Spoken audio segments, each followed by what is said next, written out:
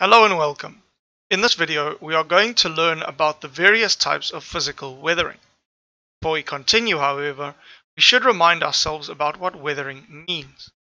Weathering is the process whereby rocks on the Earth's surface are broken down and worn away by physical, chemical or biological forces. As I said, in this video we will be focusing on the physical forces. Physical weathering comes in two main types frost shattering, also known as freeze-thaw action, and exfoliation, also known as onion skin weathering.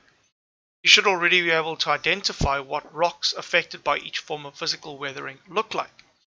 Frost shattering causes rocks to be fractured into shards or pieces, while exfoliation causes rocks to peel, hence the onion skin name. Let's look a little bit closer at the frost shattering process. Many rocks have cracks and breaks in them.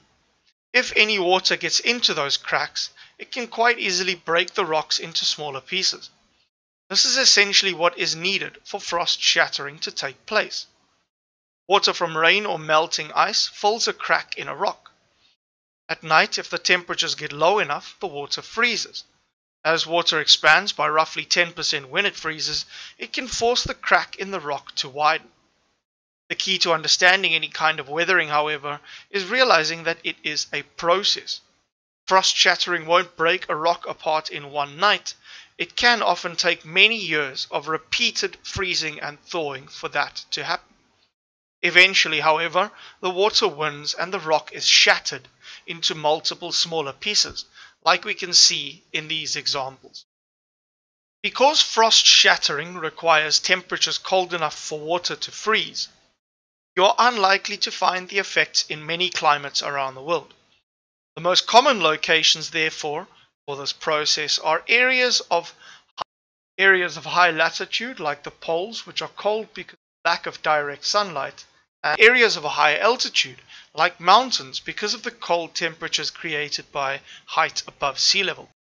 The second type of physical weathering is exfoliation. As you can see from the diagram, this is a process that starts when a rock is exposed to extended periods of sunshine during the day. This sunshine heats the outer layers of the rock, which in turn causes these layers to expand. At night, the rock gives off all the heat absorbed by the outer layers, causing these layers to contract. For this expansion and contraction to break the rock, it needs to occur as often as possible for as long as possible.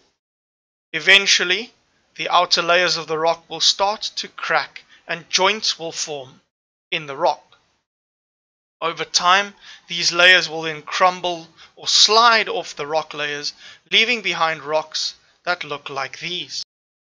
In order for exfoliation to occur as fast as possible, the process needs to take place somewhere where it gets extremely hot during the day and extremely cold during the night.